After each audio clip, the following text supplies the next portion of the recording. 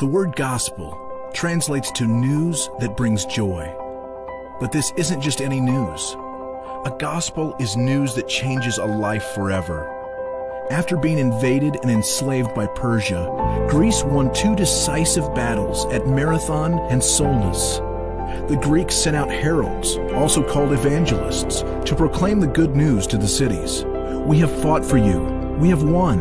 And now you're no longer slaves. You're free. The reality is that we are all slaves, slaves to sin and slaves to death. We are slaves in need of good news. Enter Jesus, God's Son, fully God, fully man, bringing news that would change our lives forever. His news was this I am the divine, come to you to do what you could not do for yourself. I will take what you deserve so you can have what I deserve. You have no idea how much it will cost me, but you also cannot imagine the depths of my love for you. It is a gift that I give freely. So repent. Repent from all the ways you've run from me and follow me. Follow me because I am the only way to eternal life. Follow me because I'm the Savior you've been looking for. Follow me because I have authority over everything, yet I have humbled myself for you. Follow me because I died on a cross for you, because I'm your true love and your true life.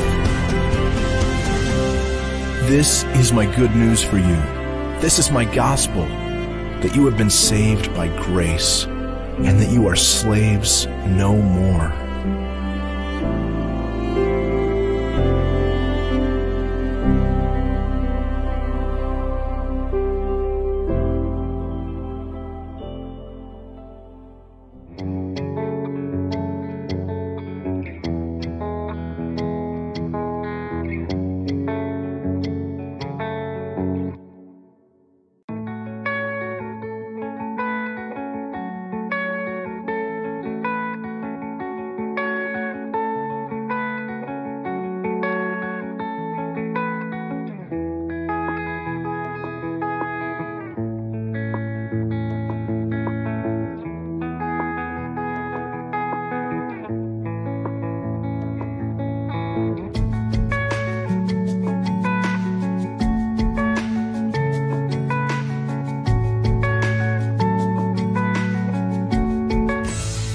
Hey there! Is today your first time here? Or maybe your first time in a while? If so, maybe you're wondering exactly who we are and what this church is all about. Well, we'd like you to know that we're a group of ordinary people who are on an amazing journey together, following Christ. Our guide is the Bible because it's the divinely inspired Word of God and it will never take us in the wrong direction. Along the way, we hope you'll see that we are welcoming and spiritually passionate and that getting to know you is a big deal to us. We know that the road is rough sometimes, but we'll work really hard to bring you practical and relevant messages to equip and encourage you through life's ups and downs. We want you to know that we care about this community, and we believe that it's our job to make it a better place. So, no matter who you are or where you've been, we're glad you're here with us today, and we hope that you'll join us on our journey, following Christ and living out His plan for us. So, welcome to church.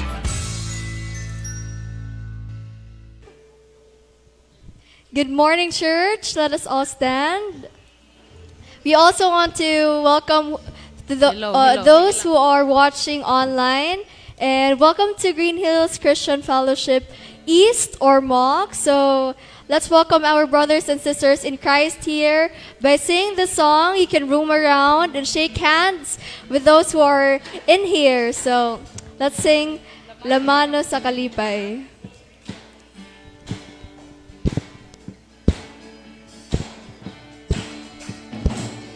Lamano sa kalipay, diha sa ginoo. Daigon sa kalipay, diha sa ginoo. Daigon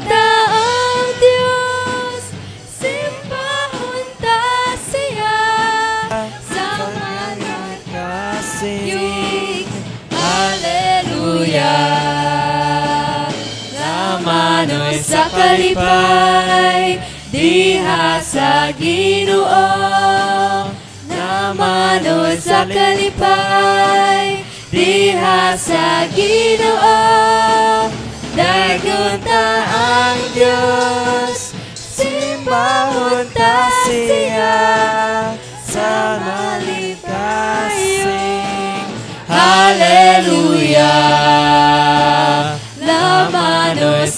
kalipay diha sa Ginoo. Lamano sa kalipay diha sa Ginoo. Dayon ta ang Dios simbahon ta siya. Sa bayan kasasi. Hallelujah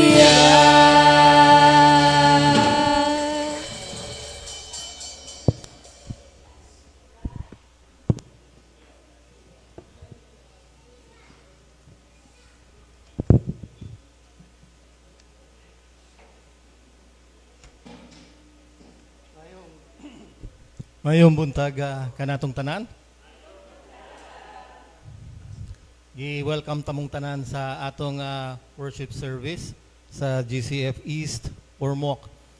It is ah, our ah, first ah, worship service ah, for, for this ah, Advent sa atong i-celebrate ang ah, coming of our Lord Jesus Christ. And then uh, this is the first Advent that uh, we are uh, celebrating. Bali, four Sundays na siya. Mo-culminate sa December 25. so, uh, we, we are uh, very happy to welcome you all, ang mga taga-naungan, pakpakan, ang uh, mga taga uh, Milagro, nagtikadaghan ang atong grupo sa Milagro. Oo. Eh, disciple mo ana ni kwa ni Elder Fredo. Mhm. ang ah, mga taga GCF East or MOC. Mm. O ga ang atong mga youth. Oo. if uh, you will notice, mga igsoon, um, bago ang atong uh, kuan karon ang ah, ang atong church oh na, naana tay Oo, bagong ambience oo. So atong ah, pasalamatan ang ah, mga nanay kagahapon. Ang mga youth gahapon. Kuan ni siya eh, ah, concerted effort ni siya. O ka- kaning cross nato dire oo si Kiara o si kuan aha naman to si ah, Zernil oo si si Kiara og ah, kuan. Agi ni ni Kiara og ni Zernil oh la- labor of love ang ah, pagpintal ni ana. Unya ang mga kuan pod ang ang pagtaod dire oo so atong tagaan og ah, masipang ah, pakpak ni ato mga igsoon. Praise God praise God for ah, ah, sa sa atong ah, mga igsoon sa ilang ah, tabang ug ah, sa ilang ah, kalipay na na mag-aalagad sa atong ah, buhing Dios. so o- unsa pa?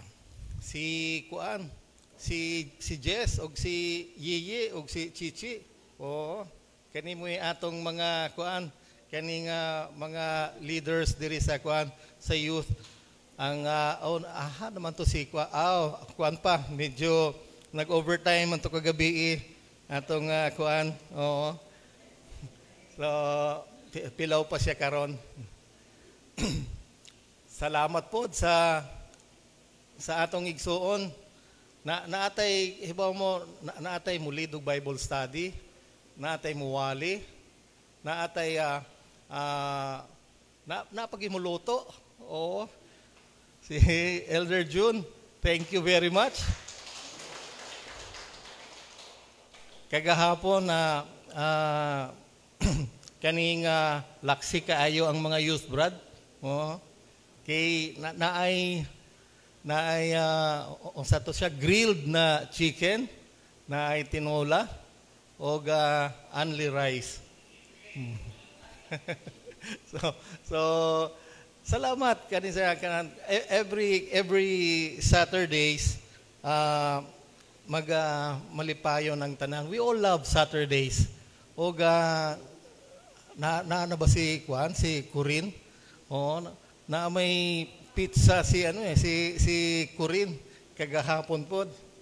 Oh, muraga si Joshua mo nalipay sa pizza. Josh? Ah, okay kayo. Si oh. ang uh, ang akong uh, vision wala, wala may kuan, wala may pizza, wala, wala ako kaapilda. But uh, anyway, it's uh, really um, what's this? Uh, it's really a blessing to have this uh, this youth around ug atong mga elders ug atong mga nanay. Salamat sa Ginoo. Salamat sa sa iya ilang uh, tabang diri sa church. Og uh, sige, uh, tagaan ta lang anay mo og 3 seconds para paglingkod kay pagampo nato tindog naman sad mo. Uh, so, ako lang gi huwat si kuan si Sis Ibon na makalingkod. Um, lingkod ana. Uh, okay? Plastar ng tanan. Mm. Let us all please stand for our opening prayer. Sige, let us uh, uh, put our minds and our hearts in the presence of our Almighty God.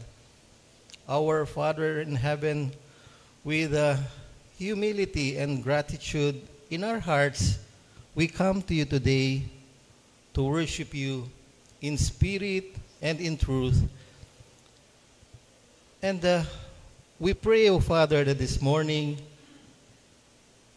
you will open my eyes that I may see glimpses of truth that uh, you have prepared for me.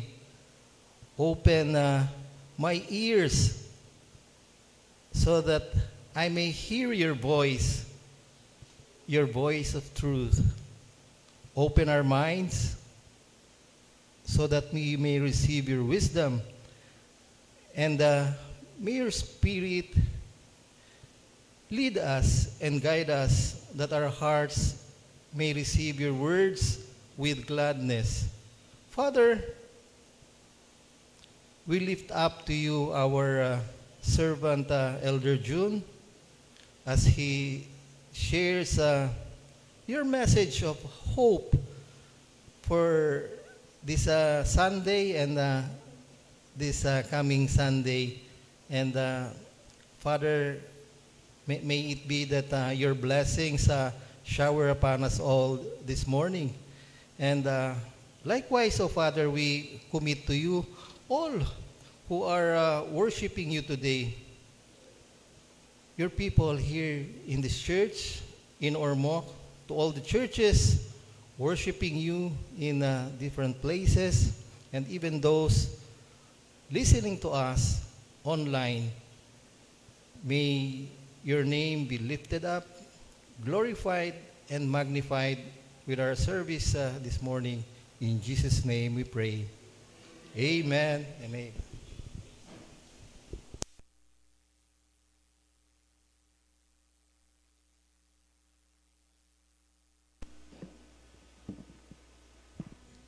Good morning, church. In Revelation 5, verse 12, it says, Worthy is the Lamb who was slain to receive power and wealth and wisdom and strength and honor and glory and praise. Let's come together and worship our Lord.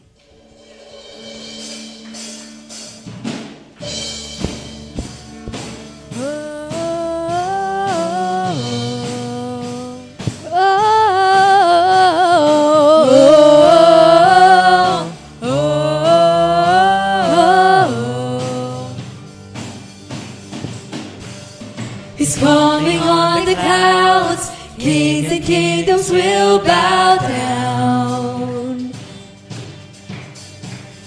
And every chain will break as broken hearts declare his praise. For who can stop the Lord Almighty?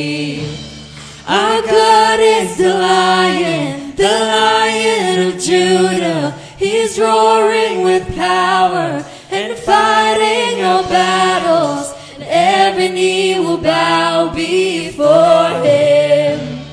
Our God is the Lamb, the Lamb that was slain for the sins of the world. His blood breaks the chains, and every knee will bow before the Lion and the Lamb. Oh, every knee will bow before Him. Oh,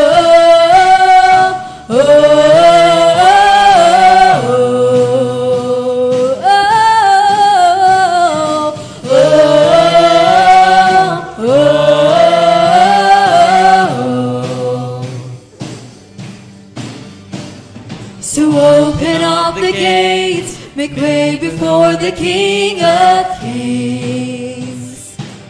Come on. The God who comes to save is here to set the captives free. For who can stop the Lord Almighty? Our God is the Lion, the Lion of Judah. He's roaring with power and fighting our battles, and every knee will bow before Him. Our God is the Lamb, the Lamb that was slain for the sins of the world. His blood breaks the chains, and every knee will bow before the Lion and the Lamb. Oh, every knee will bow before Him. Oh, oh, oh,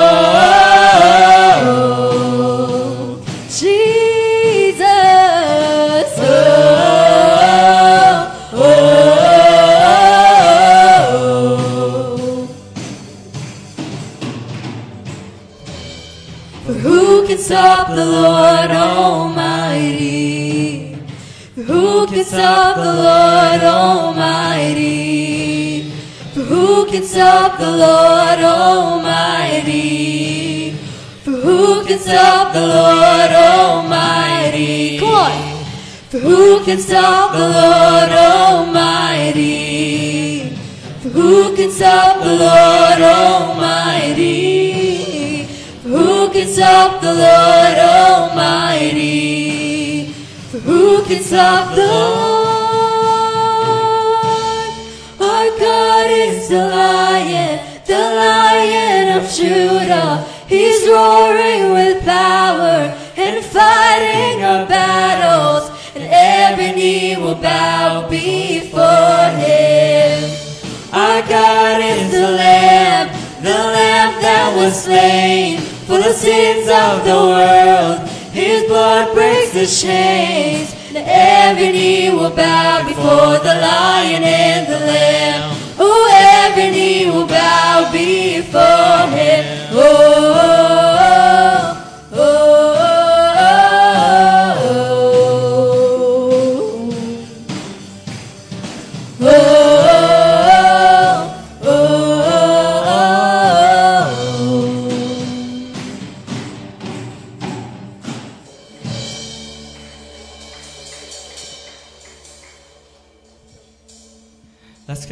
praise God. 1 John chapter 5 4. For every for everyone born of God overcomes the world. This is the victory that has overcome the world, even our faith.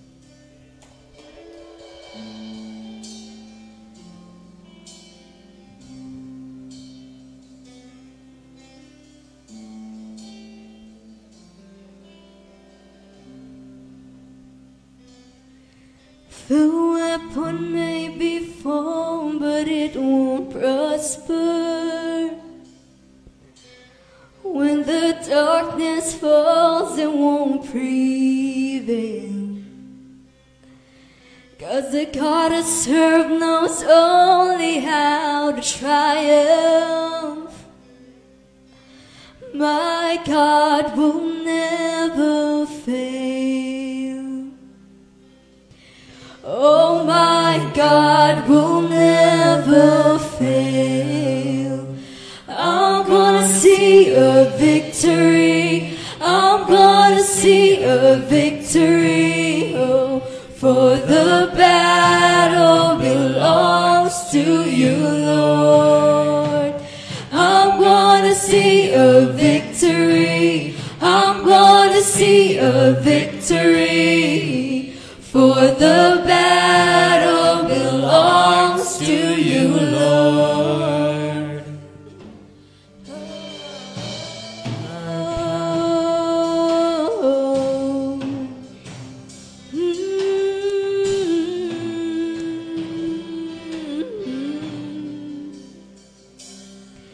There's power in the mighty name of Jesus. He will win. Come on. Oh, I'm not backing down from any giant.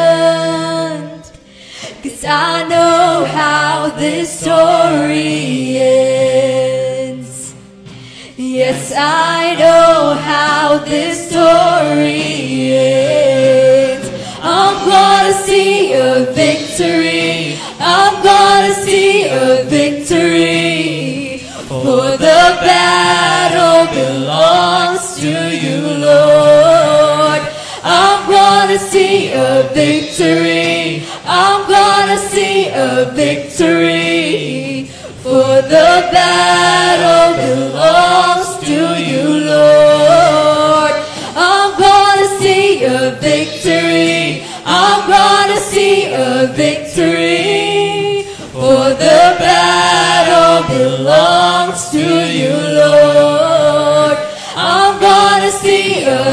Victory. I'm gonna see a victory. For the battle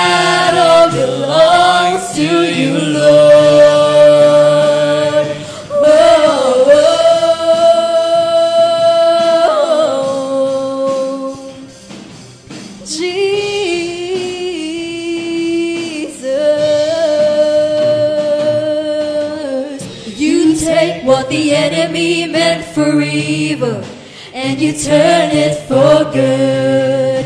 You turn it for good. Come on, sing it out.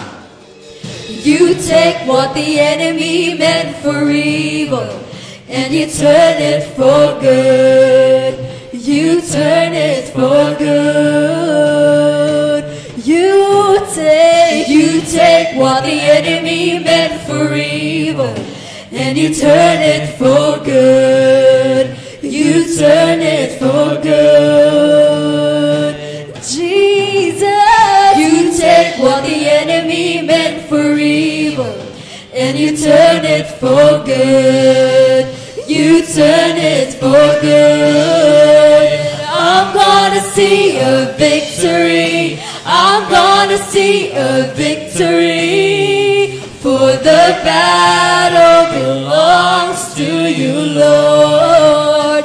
I'm gonna see a victory. I'm gonna see a victory.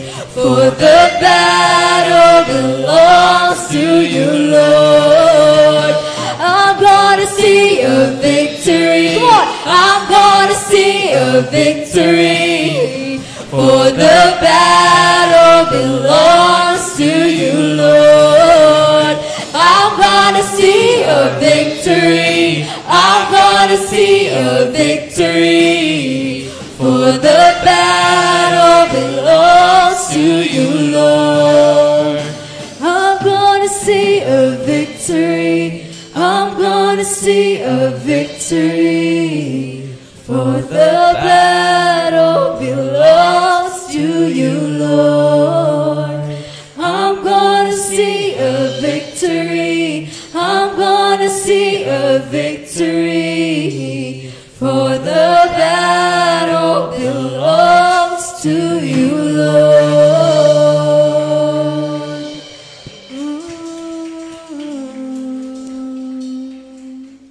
To God be all the glory. Please be seated.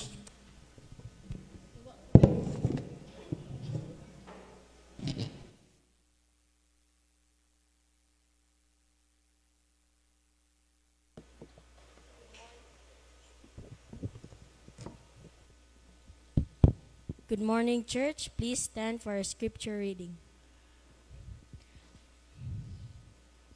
Our text for today is from the book of Galatians, chapter 4, verse 4. When the fullness of time had come, God sent forth his Son, born of a woman, born under the law.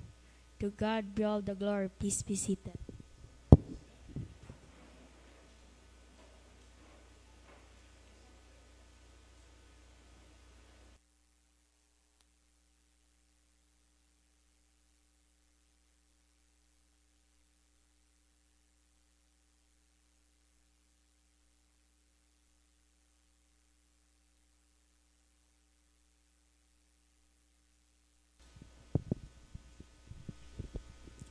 Good morning, church. So, nakita na to karon no nga naa ni decorations. So, kung naa decorations, unsa may pasabot ani? Pasko na, Pasko na, di ba? So, it fits in our topic for today. Our topic for today is a series entitled Hope Has Come. So ta- kita na tagsa-tagsa nato dinhi naaman tay hope dili katong hope sa una kay sigarilyo to. Bitaw under sa atong series entitled Incarnation meaning the word become flesh or to make flesh incarnation. We are now on the first Sunday of December. Diba? First Sunday karon sa December, a month of Christmas. And a month, a season of hope. It's a season of hope. Christmas is a season when we celebrate hope that has come to earth through Jesus Christ. Tama? But there's something about Christmas. All are excited and all are happy. Excited ba ta? Excited ba ta nga Christmas na, December na? Malipayon ba ta December na? Murag, ang uban, murag mo smile, murag dili. Karon makahibaw yun mo, nga dili mo mo smile.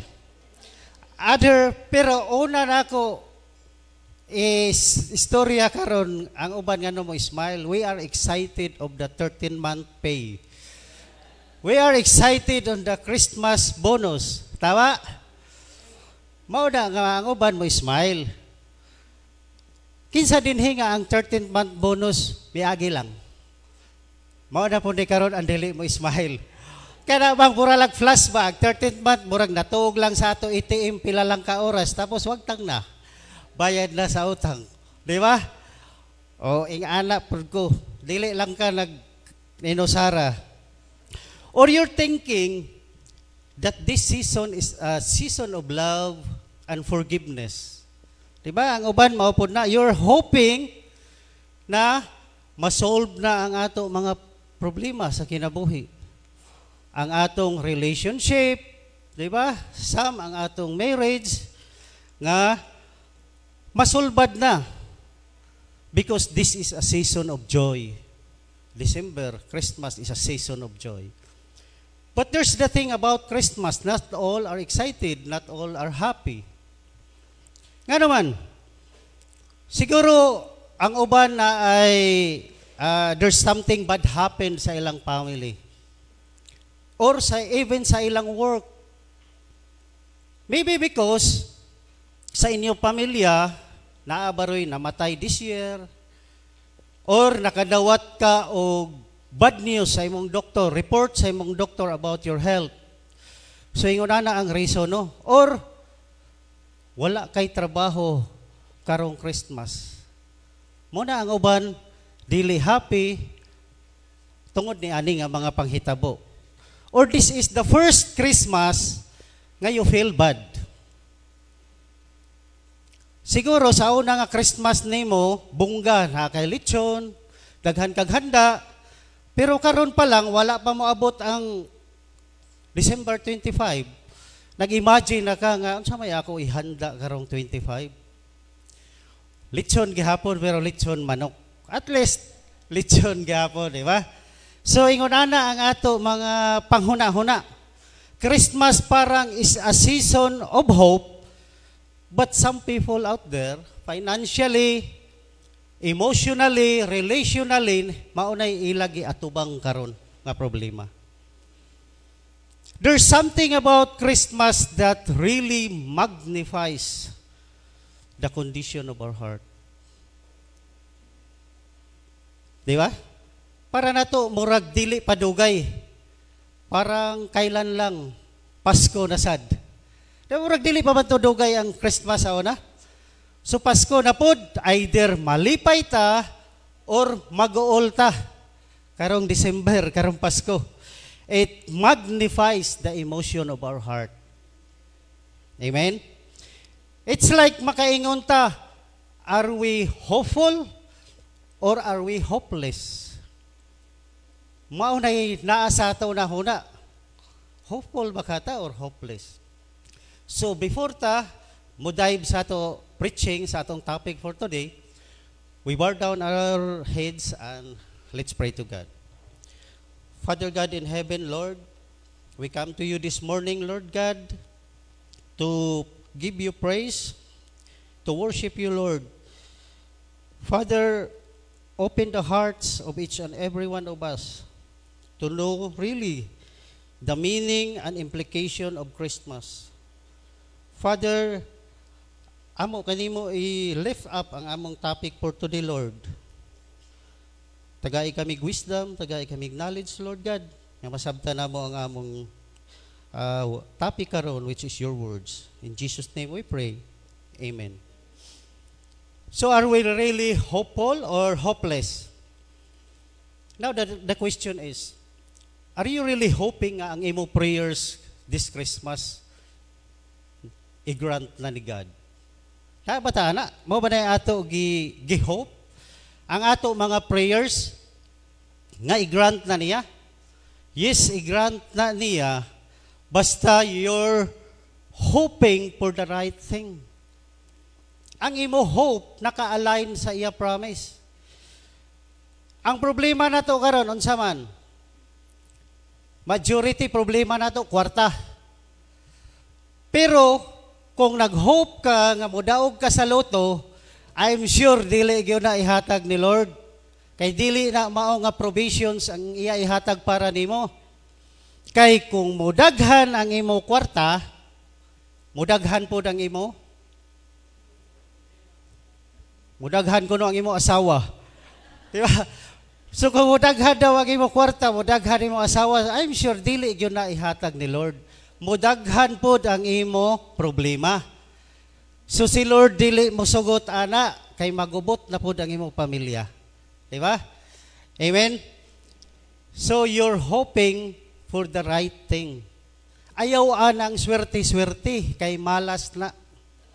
So dili ta mo mo hope anang paswerte-swerte ha kay malas na siya. Another question. Where is your hope anchored to? Asa man naka-anchored, asa man nakaangkla ang ato hope? Sa imo ba kaugalingon? Sa ato ba kaugalingon naka-anchored ang ato hope? Unya, og sa ato kaugalingon, moingon na punta, we did our best. How about if our best wasn't good enough? Mura magkanta na, Brad. Di ba? Kanta na siya, no? So, dili pwede sa ato kaugalingon, ato i-anchor ang ato hope. Sa imo ba work? Makaingon na ka, mauni ang ako hope, kini ako trabaho, kay secured ko dire. Secured ka, sigurado. How about kung mag-close ang company sa imo gitrabahoan? Tapa ba kay hope? Wala na. Moingon ka, ang ako hope naka-anchored sa ako business, sa ako negosyo. How about kung nanasay pandemic nga moabot? Napa ba kay hope? Wala. Kay mag-lockdown na sad. Naa kay negosyo karon, boom ang imo negosyo. Diha nimo gibutang ang imo hope. Naa kay tindahan, naa kay mall. How about kung ang imo tindahan, ang imo negosyo nasunog?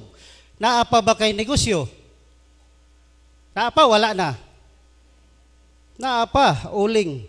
Mao na imo negosyo. Pero dili gyud ta pwede mo butang sa ato hope anang mga butanga. Di ba? So we're hoping that we can answer these questions. Kini nga mga questions I hope mahuman ang ato topic karon ma-answer din nato. Because this Christmas, karon nga Christmas, nahimo nang to commercialize. Amen? Nahimo nang commercialized ang Christmas karon. Murag ang tao sobra na ka materialistic. Di ba? May dayon ka, dili kumplito ang ako Christmas kay wala ako'y new gadgets. Wala ako'y bag-o nga cellphone. So dili makumpleto. Dili makumpleto ang imo Christmas kay wala kay bag-ong dress, wala kay bag-ong sapatos. Or mo ingon ka, dili makumpleto ang ako Christmas kay wala ko'y uyab. O, katawa dayon ang mga youth. Di ba? So, dito ninyo gibutang ang inyo hope sa butang, sa material stuffs, sa mga tao. Most of the kids karon mas nailhan nila si Santa Claus kontra kay Jesus Christ. Amen? Pangutana daw bata diha sa gawas kung nakaila ba na ni Jesus Christ. Wala. Pero mas nailhan nila ang Santa Claus basta Christmas.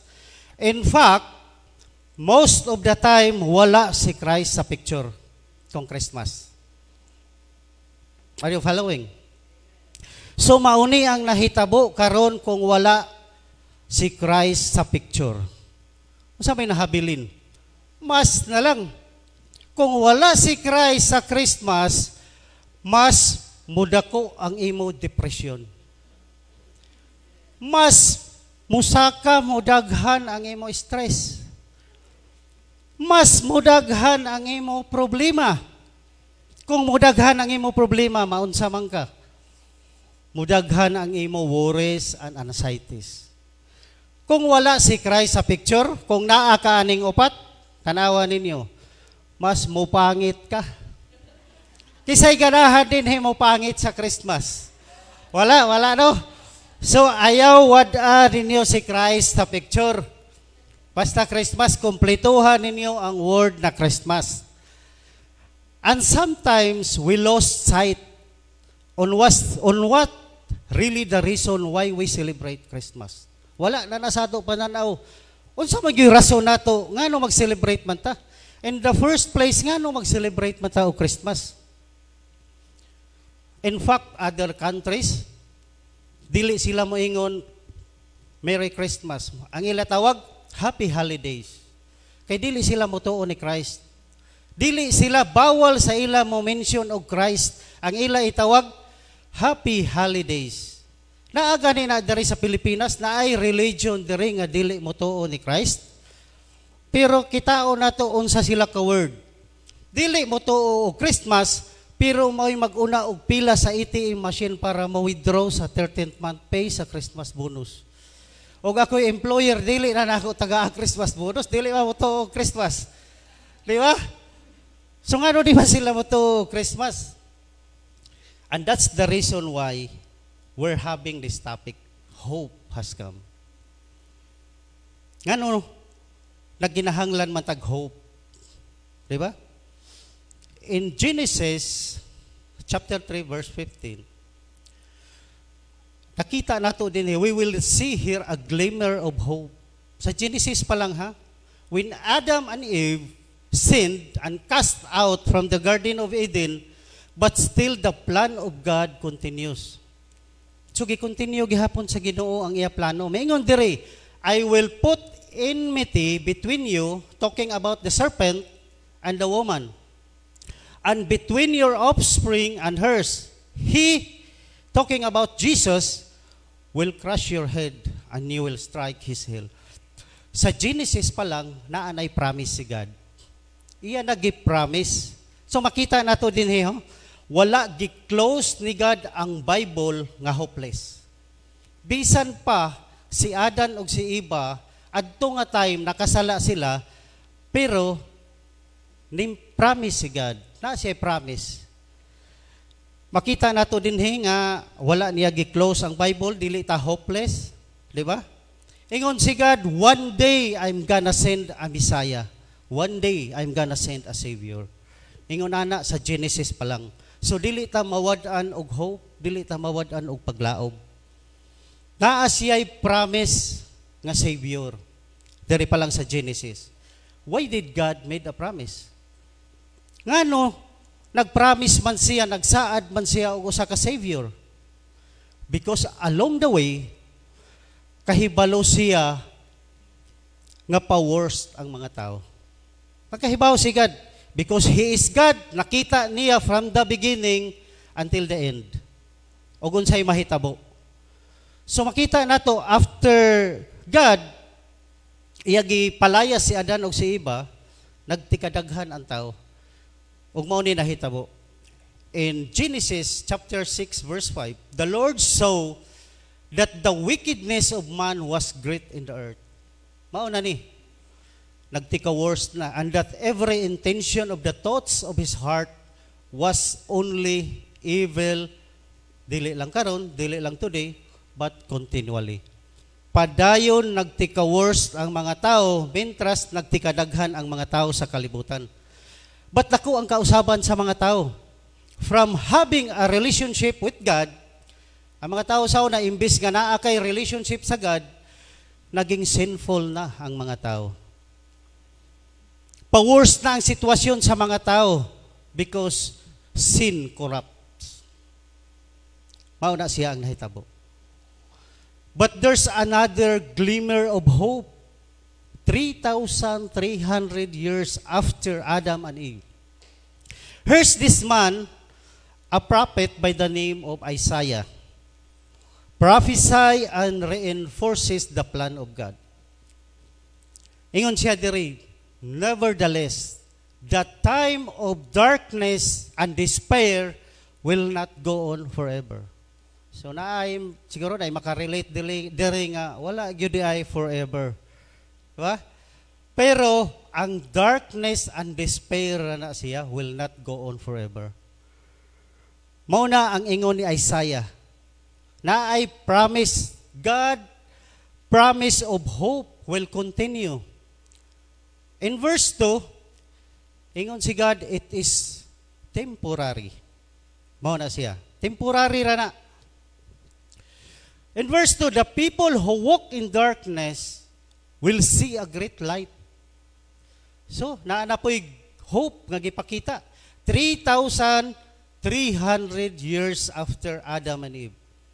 For those who live in a land of deep darkness, a light will shine.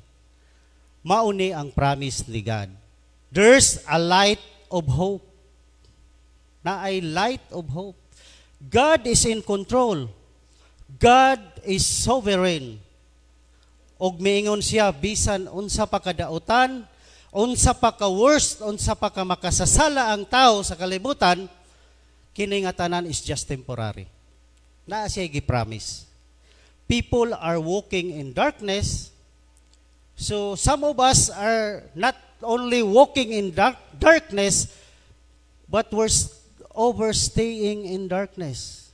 Naa ba? Nga nagpray ta pila na ka months, pila na ka years, wala paghihapon ihatag sa Ginoo ang ato prayers. Din ang uban makita nato na paghihapon nagpuyo sa sala. They are living in darkness. Nga makaingon sila, wala nagyugoy chance nga mabag-o, wala nagyugoy pag-asa, wala nagyugoy hope. So whether you're walking or living in darkness, nga burag wala nay hope ang imo kinabuhi, tungod sa mga problema o sa imong mga sala nga ginabuhat, don't worry, God is saying, this is just temporary. Amen? And that's what Christmas is all about. The coming of Jesus, the coming of Messiah, and the first Christmas. Today we let us take a look at the Apostles Paul later to the Galatians to know why we should celebrate Jesus coming as a man. So one verse rata karon. Adali rata mahuman ani kay one verse raman ta. Di ba? Usa rata ka verse dili pre sa una nga tag 10 verse. So ato lang ni himay-himayon kining usa ka verse. Usa gyud pasabot ani nga verse and this is very important. For those of us that we, that we put our hope on things nga dili sakto, dili maayo or sa tao nato gibutang ang ato hope, this this verse is for us. When the fullness of time had come. Sa may buot pasabot ani. So this is 4,000 years. Remember Genesis 3.15, kato si Adam o si Eve. Dugay na no, dugay na usa niya gituman ang iya promise, ang iya saad. 4,000 years. Pero 4 days ra na ni God. Because ingon sa Bible, one day ni God is like a thousand years. Dugay sa tao, but 4 days ra na ni God. Ngano dugay man niya gihatag ang iya promise. Miabot pa man og 4,000 years. Pasabot ani, God has not forgotten His promise. Bisag unsa ka dugay, iya gihapon na gituman ang iya promise to His beloved creation. Ingon ana, kamaayo ang ginoo. Di ba? The word fullness, ato na kuanon ang meaning sa fullness, this is full number, full measure, completeness or totality. Meaning na ay gihuwat si God. Usa niya gipadala iya anak si Jesus Christ. Na siya gihuwat, gipaabot pa niya og 4,000 years. Usa niya gifulfill iya promise. Ato din hikitaon, ngano, unsay reason? Ngano gipaabot pa niya 4,000 years? First, let me remind you about God. Kinsa man gyud ning Ginoo? Unsa man gyud ning Ginoo? In 2 Peter chapter 3 verse 9, the Lord is not slow to fulfill his promise. As some understand slowness, he is patient with you, not wanting anyone to go to hell, to perish, but that all, not some, walay gipili ang Ginoo, but all should come to repentance. Diba? If you hold on to God's promise, iyan na ihatag nimo. As long as it is aligned. Naka-align ang imo prayer, naka-align ang imo hope, naka-align sa iya promise. Iyan na ihatag. Kanang ato mga utang, kisa man din hiwalay utang. Bisan gani ako, di ako diri, taghad kog utang. Kanang ato mga utang, kanang ato problema sa finances, sa marriage, sa relationship, one day, masolve na tanan. Because the Lord is not slow to fulfill His promise. Maurag yun ay ato, balik ta sa iya words, balik ta sa iya promise. Para dili ta ma-depress. Kapit lang. Managingon, kapit lang mga bes. Moabot ra na nga time. Di ba? Kinahanglan lang i-align ang ato prayers. Naa pa, but God is patient towards you. Na siya taas siyag pasensya. Kita raman mo iway pasensya. Amen? Ang mga tao ra mo iway pasensya, pero ang Ginoo taas og pasensya. Imagine for a moment, kung si God ingon ani, nga kung makasala ta on the spot, mamatay ta dayon, wala na ta diri karon, wala na tao ang kalibutan. Kung mo na iya buhaton, kay miingon siya ni Adam o ni Eve, nga surely you will die. Kung makasala ka, surely you will die. Pero wala na buhata sa Ginoo sa iya creation. Kay mahurot ta. Gitagaan ta niya og chance, gitagaan ta niya opportunity of repentance. Mauna ang gihatag sa Ginoo sa ato. So God waited for 4,000 years before the execution come. Grabe kadugay, no? 4,000 years paabot.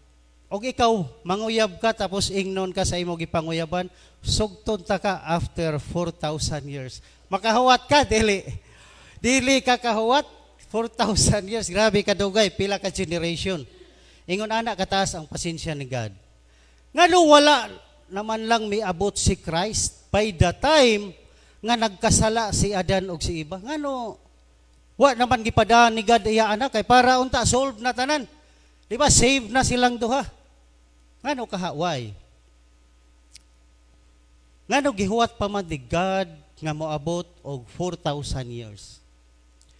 Mao ni siya ang tubag. Para makita sa mga tao unsa ka hugaw, unsa ka dautan ang sala. Mao ni ang purpose ni God para ma-realize nato unsa ka destructive ang sin. Makita nato giunsa paguba ang imo marriage, imo relationship, giunsa paguba imo finances para makarealize ka din man will finally realize that we need a savior. Are you following? So ingon ana kadugay gipaabot sa Ginoo 4000 years para kita nga mga tao makarealize ta unsa kadautan ang sala nga ato gibuhat. O unsa ka destructive ang sala. Nakasuway naman tag brand out no. Last Sunday brand out manggana ito pero okay lang to siya kay adlaw man. How about kung mag-brand out og 6 hours sa gabi? Kada bang pakatug na ka ba tapos kalit lang kainit na paong ang electric fan, na paong ang aircon. Di ba, unsa may ato, basulon. Di ba, basulon na to, lihiko dayon. Dara ba si Richard, no? Di ba, magyaw-yaw dayon tas, kay init, di nakatug, sigig pay-pay, pay-pay, hantod ng alas 4 sa kaadlawon, pinaypayay, tapos, mikalit og siga. Unsa may imong gibati? Di ba, malipay ka? Sa six hours nga sige kag paypay wa ka katuog kalit lang nga mibalik ang power. Sa imo kalipay gusto nimo i-worship ang liye ko. Sa imo na kalipay kay mibalik na yon ang power. The same thing sa nahitabo dire taas nga panahon sa ilang kangit-ngit na ay hope nga gipakita ingon ana kalipay ang mga tao. Dapat ingon ana sa ta kalipay. Din lahi ra ba diri sa Pilipinas? Masabtan nato ug mobalik na ang power. Nga naman Maninggit ato mga silingan. Di ba? Nakuha na niyo, ay, power na na, balik na ang buwan. Di balik na ko ang buwan. Ngayon na na diri sa Pilipinas. So the same thing sa at mga tao diri sa Bible. Mao na, nga naay hope, naay light, nalipay na ang mga tao. But it took 4,000 years. Karon, mao ni siya ang problema. 800 years prior sa pag-abot ni Jesus Christ, walay miracles nga nahitabo. God is silent. Walay angelic visitations. Then nakita nato last prophet nga iya gipadala si Malakay, prophet Malakay. Ang uban ana gipronounce Malachi. Last book in the Old Testament. 400 years after usa pa si Jesus Christ. So, 400 years, God is silent. Nakita nato sa ato Bible, muukab bantag Bible no, kay Christians naman ta. Last book, Malakay, di ba naa siya'y blank page, tapos usa pa si Mateo sa New Testament, kana siyang page nga plain, nga blank, 400 years na siya ang pagitan gikan ni Malakay to the New Testament. So in 400 years, God is silent. Nakaingon ang mga tao, gipasagdan na gyud ta ani sa Ginoo because God is silent. If God is silent, absent ba siya? If God is silent, it doesn't mean He is absent. Maunay ato huna-hunaon. Unsa may gibuhat ni God. Tagaan ta mog story. Tagaan ta mog example. Kita ba nakasuway na batag tanaw og musical stage play? Kanang nasa stage tapos live sila nga nag-perform na mga audience. At dili na lang, kini na lang. Di ba magangat ang uh, pista sa Ormoc na sa una na iba na magdrama diha sa stage? Si Tiban o si Goliath. Di ba? Na, ano? Tapos in between scene, kumbaga na ipahinomdom, isara ang tilon. Sa musical stage play, isara ang tilon sa theater. Pero ang mga audience, munay time nga mo CR sila, mukaon sila, magchika-chika sila. Buralagway na hitabo para sa audience, buragway na hitabo back on the stage. Pero dili di ay naay nahitabo. Ang nahitabo sa backstage, busy ang mga performers. Nag-change og makeup, nag-change og costume, nag-change og settings, then ang uban nag-rehearsal pa. Ingon ana ka busy back on the stage. Nga wala masabti sa mga tao, sa mga audience. Ingon ana si God.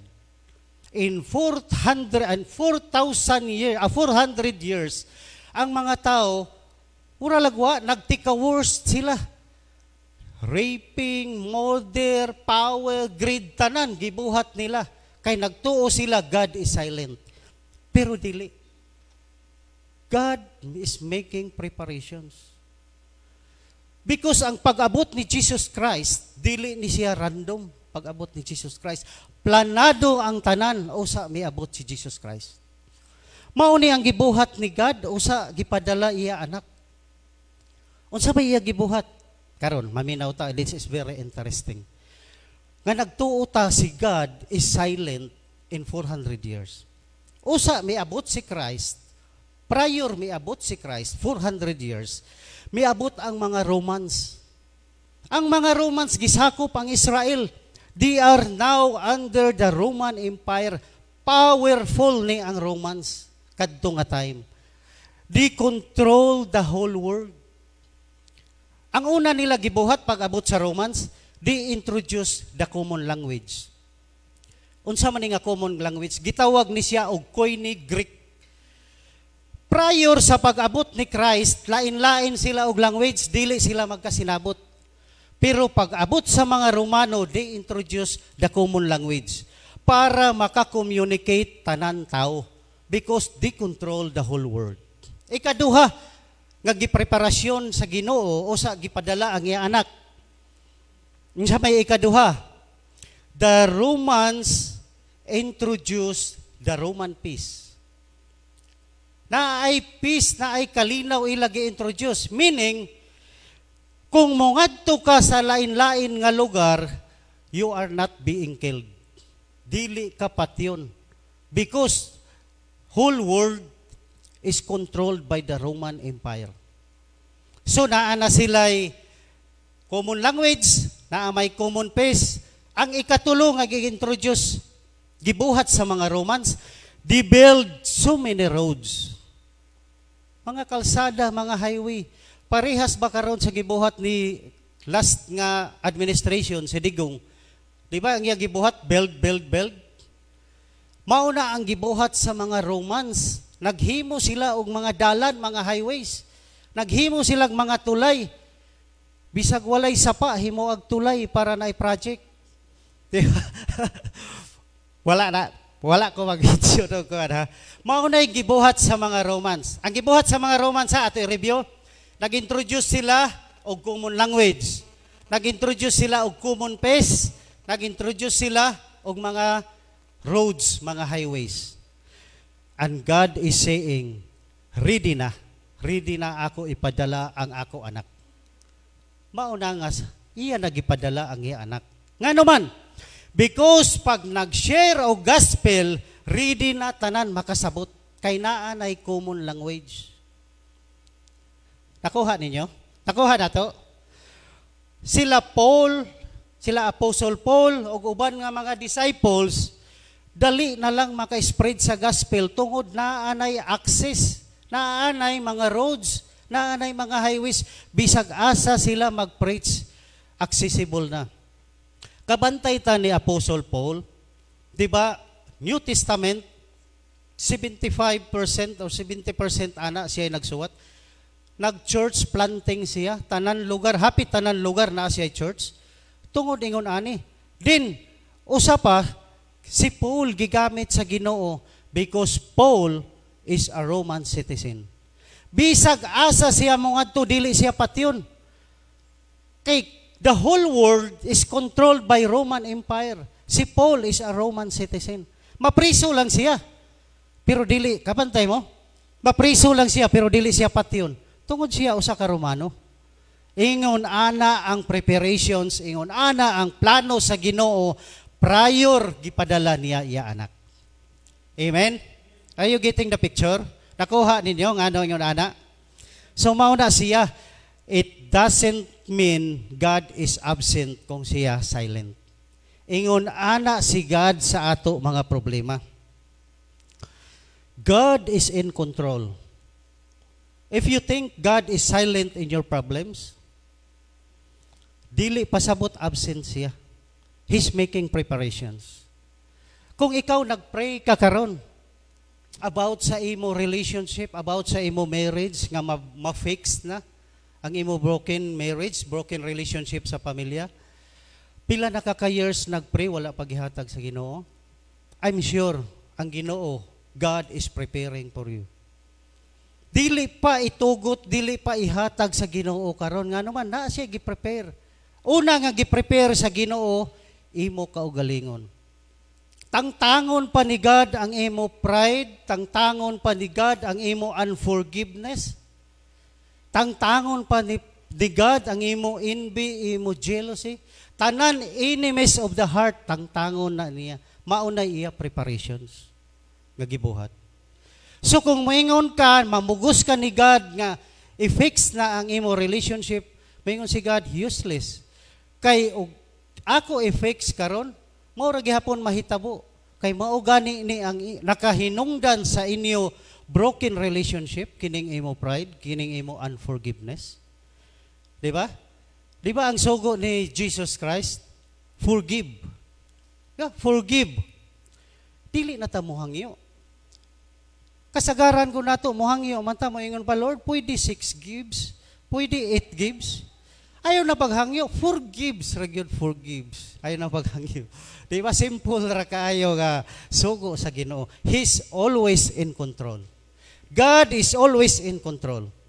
So if you think ang imo Ginoo ingon ana lang kagamay, if you think ang Ginoo nimo kanang imo lang isulod sa bulsa, sa pitaka, I have good news for you. You remain hopeless. Ang Ginoo nato is a great and awesome God. He is always in control. Ako question. Are there things in your life that beyond your control? Naabay mga butang, naabay area sa atong kinabuhi nga dili nato control? Just surrender to God. Pray, pray without ceasing, and wait for His right timing. Dili nato pangunahan ang Ginoo. Kay kanang gibuhat kapag panguna sa Ginoo gibuhat na na ni King Saul sa Old Testament kana siya. So kapit lang. Bahalag dugay niya ihatag, continue lang pray. Unsa may mo buhaton mo give up ka?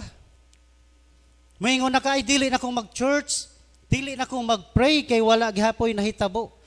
God is silent, wala maminaw si God. Asa man ka mo kapit? Mo give up ka, asa man ka mo kapit kung wala kay Ginoo. To those people nga hapit na mo give up, hapit na i-give up ang ila hope, this verse is for us. In Lamentations chapter 3, verse 25 to 26, the Lord is good to those whose hope is in Him.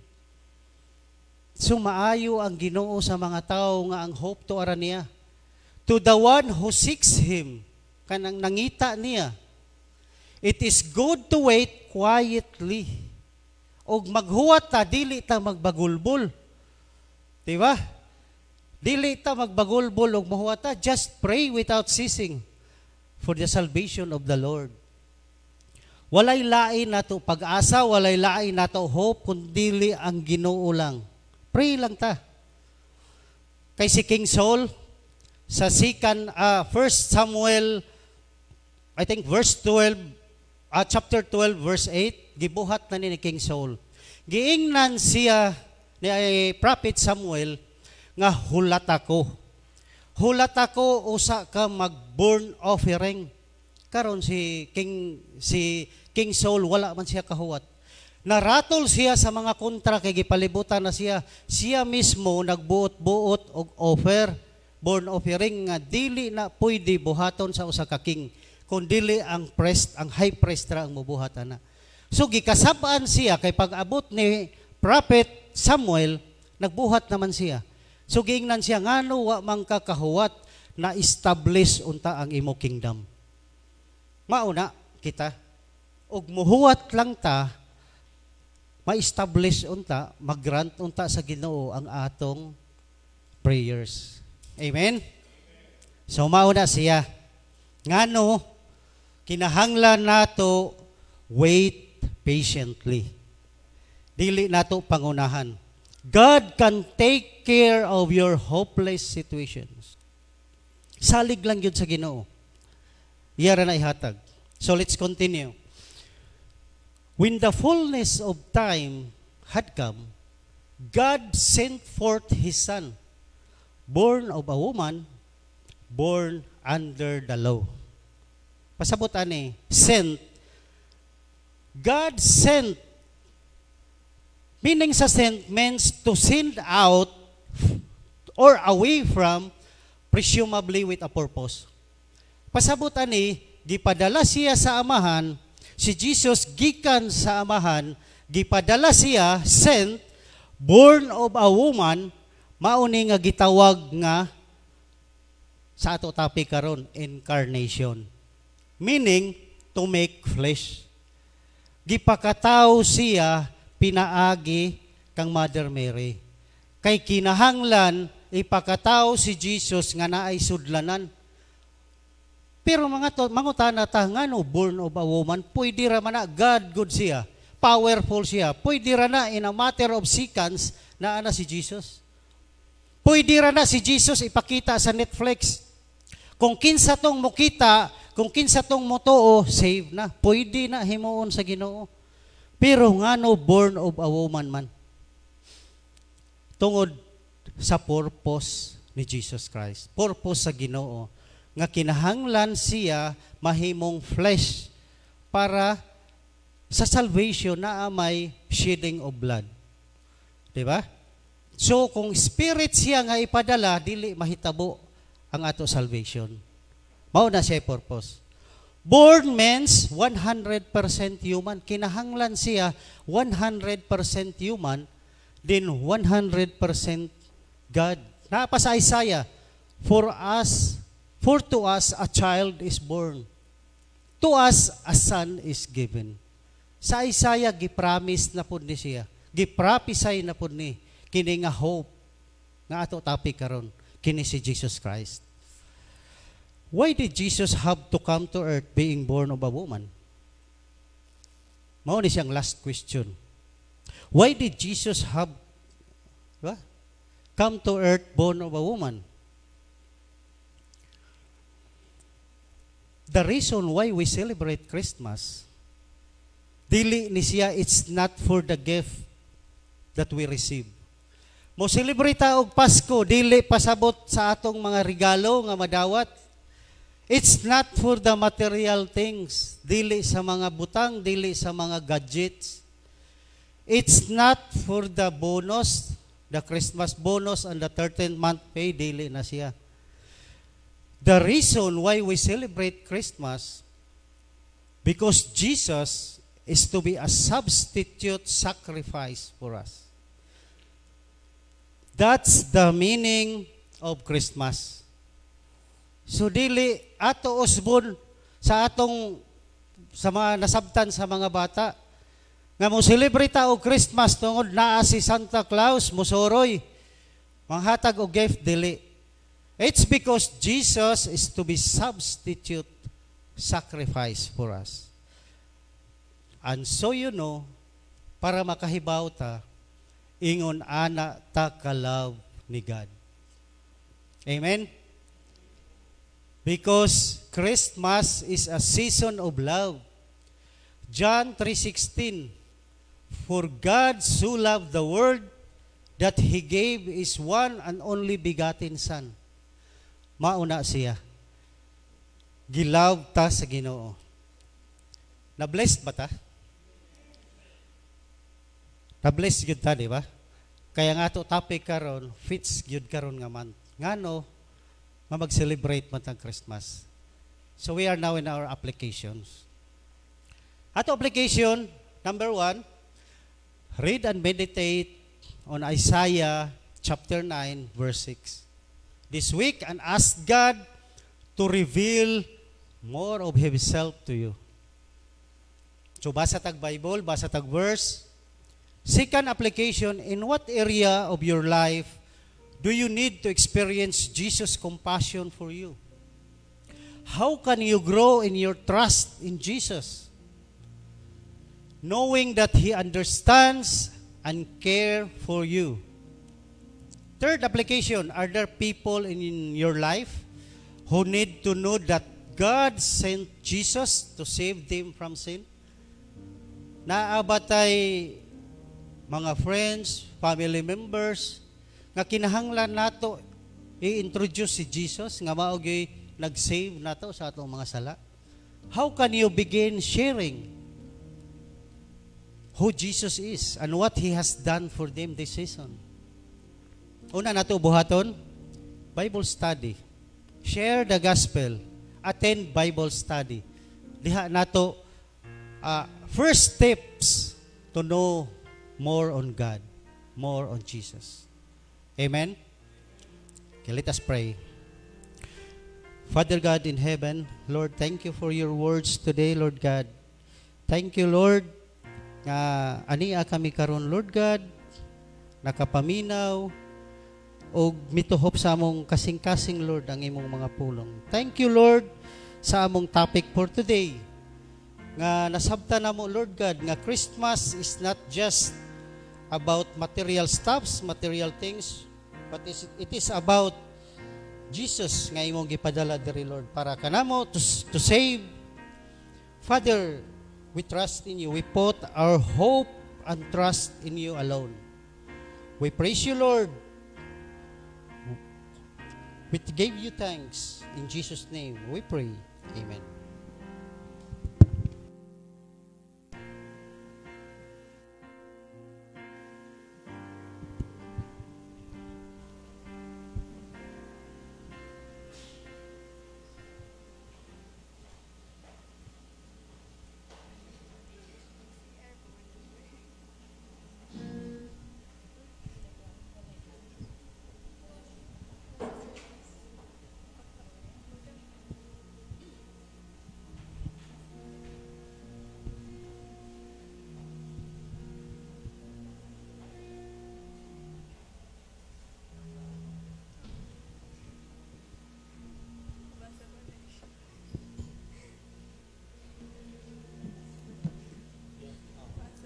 Before our uh, offertory, uh, just a few few words lang mga, mga igsoon.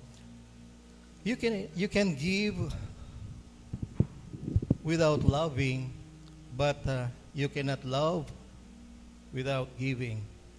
Our Father in heaven show the best example of giving pareha sa giingon sa atong uh, mention sa atong igsuon kaganiha sa John 3:16 out of uh, our Father's great love for us he gave his only begotten son Jesus Christ that uh, whoever believes in him will have eternal life. Now today as we give our offerings to God may our offerings uh, come from our hearts. The best we can offer, not out of duty or obligation or pride, but out of heartfelt gratitude for what we are now and what He has given and blessed us with. Proverbs in chapter 11, verses 24 and 25. There is one who scatters and yet increases all the more. And there is one who withholds what is justly due, and yet it results only in poverty. A generous person will be prosperous, and one who gives others plenty of water will himself be given plenty.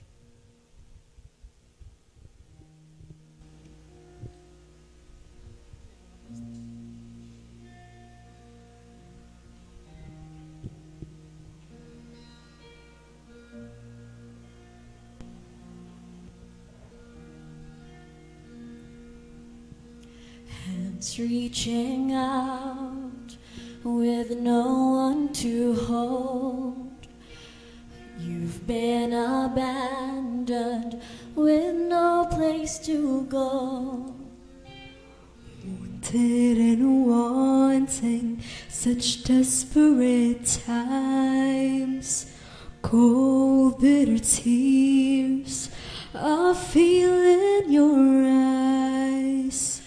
So get a glimpse of Jesus, for He's right there with you. He knows just what you need. Cause when life gets broken, when you're in despair, He'll carry your burden when it's too much to bear. His child in the valley where He'll give you strength. As there is nothing you have lost that He can't replace. He'll help you start all over again when life gets broken.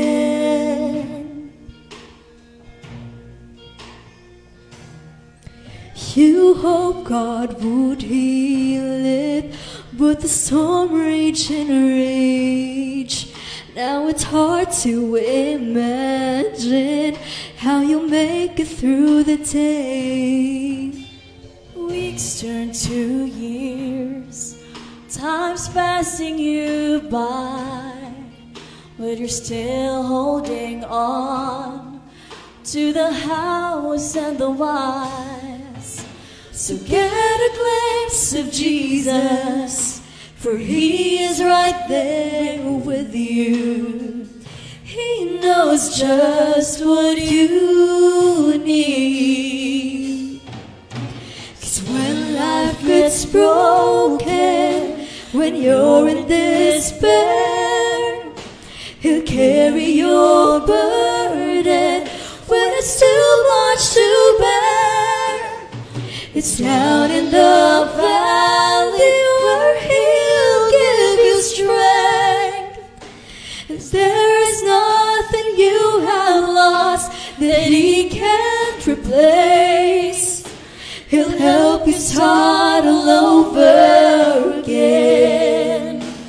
When life gets broken, when life gets broken, when you're in despair, He'll carry your burden when it's too much to bear. It's out in the valley where He'll give you strength. There is nothing you have lost that He can't replace. He'll help you start all over again